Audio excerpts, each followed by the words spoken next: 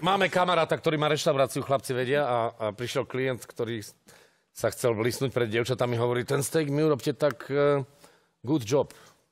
A on že, myslíte well done? Toto, toto.